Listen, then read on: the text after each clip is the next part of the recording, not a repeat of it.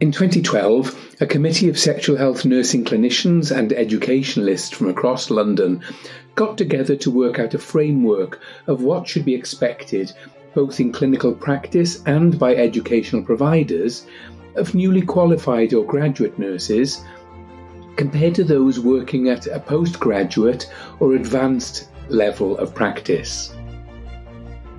The committee was led by my dear friend Dr. Kathy French an honorary fellow of the Faculty of Sexual and Reproductive Health, and a nationally and internationally renowned expert on contraception and reproductive health nursing. The following diagrams are from the Level 7 selection that we produced as part of that committee in our final published report. You'll notice here that they talk of three different aspects of professional practice relating to uh, clinical care, quality, and theory.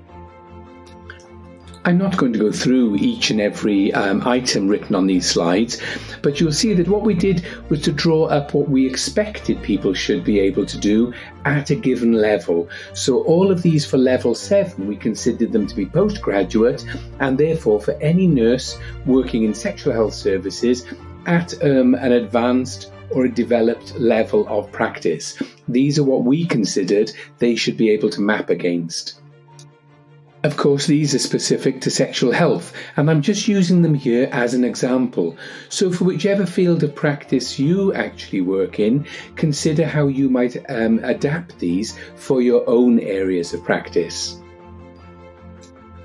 That first diagram that started off talking about practice actually focused on clinical expertise required of somebody working at postgraduate or level 7. Here you'll notice that they're equally required to work in professional and managerial positions as well. So just cast your eyes down a few of these to get an idea of what is expected when a person is working at postgraduate level. And of course, working at postgraduate level, there is an expectation that a person is um, not just aware of uh, research and evidence based practice, but they're actually able to engage with it and even to help and enable others, such as junior staff, junior colleagues, working in their fields of practice. And as part of research and development within various trusts, there's usually a requirement as well for those working at postgraduate level to be engaged with and to understand audit.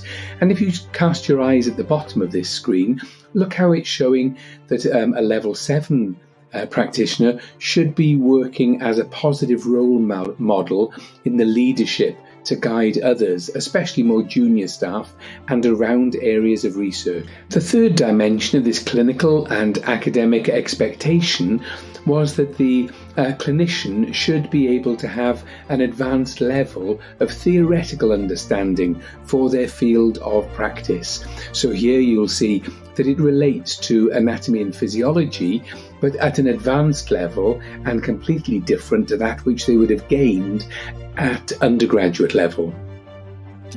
And finally, the roles incumbent on um, an advanced practitioner, whatever the title is, um, the, the, expectations on them to be able to lead their profession and to um, take on various managerial positions as well. So, leadership, management, professional enhancement, all of these were seen as being relevant to this level seven um, practitioner.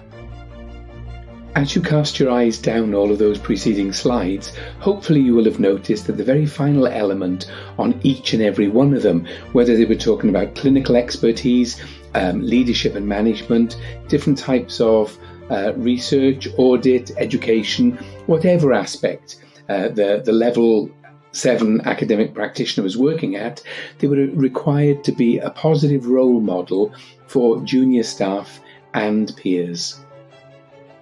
Remember, this is just one other model that you may wish to consider elements of, especially as you're working for your own professional development and your academic achievement.